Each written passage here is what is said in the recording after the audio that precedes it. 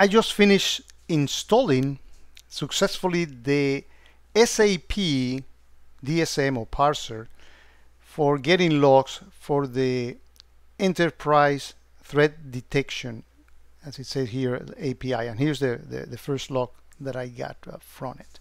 So this is a remote instance of SAP which you need to go via APIs to retrieve the logs from. I have my system here on my lab the SAP is on this uh, particular location. So let me actually go and show you the steps that I took to get this done. The DSM is this one, the SAP Enterprise Threat Detection. How, and notice that it's actually very recently uh, uh, published. However, if you first try to install this one, it's going to ask you for a prerequisite. And is this one, the QRadar Protocol SAP ETD Alert API, uh, also of a recent uh, publish. And then when you try to install this one, it's going to yet ask you for another prerequisite, which is this QRadar Protocol Common. So obviously, the first thing for you to do will be to go to Fix Central and download and install the QRadar Protocol Common then you install the the alert, the SAP, the SAP ETD, ETD alert, and finally the actual DSM. Three steps. If you follow them in the in that order, you'll have no problem. Now, here I have I, I run this from my terminal location, and when you install the the protocol common, the first prerequisite of that, it asks you to do a full deployment. Notice, you must deploy full configuration, not just deploy changes, but deploy for full configuration. Otherwise, you will you will not get this successfully installed. You will have to do the deploy full configuration. So you need to go into the admin tab after you install that first adapter or or you can do it after you have installed the three of them but this one actually requires you to go here into on the advanced and do deploy full configuration not just deploy changes. So again you can just go ahead install this one. You can then proceed to install and, and notice that here's the command in case that you've never done it yum dash y install and then the name of the of the file. So obviously you need to FTP or do FileZilla to put the file into the QRadar box in any directory that you want and then run this yum install the second and then you get this one uh, installed. And finally you install the SAP ETD adapter once you have installed those three go ahead and deploy a full configuration. Once you've done that you go into log sources and actually I'm going to show you what I actually did. Oh, sorry I let me go back and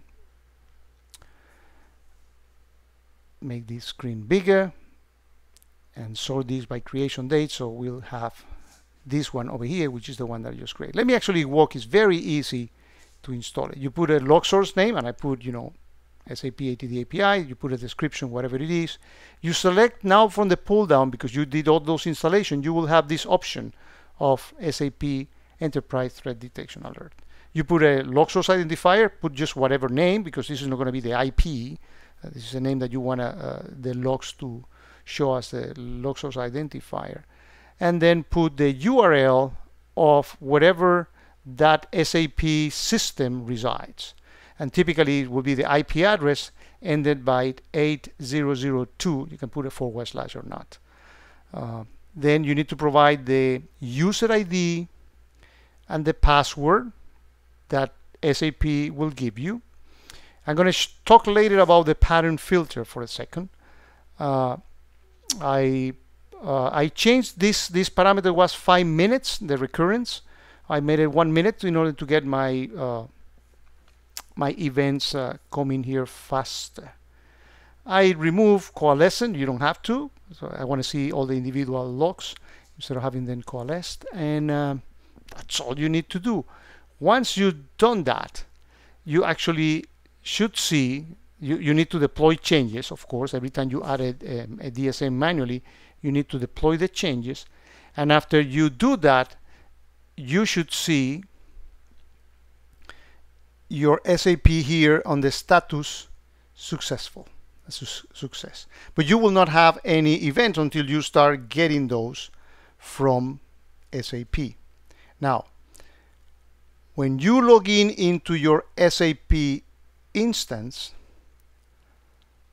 in fact I can let me actually log out so you see the whole experience you actually put your user ID and password